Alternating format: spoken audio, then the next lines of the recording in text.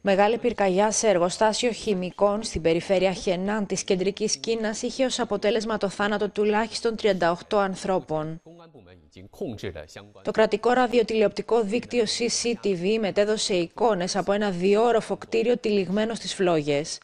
Οι πυροσβέστες πάλευαν επί ώρες για να θέσουν τη φωτιά υπό έλεγχο.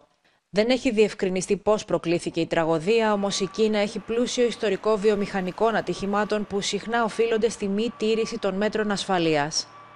Σύμφωνα με τοπικά μέσα, η αστυνομία έχει συλλάβει άτομα που φέρονται να σχετίζονται με το περιστατικό.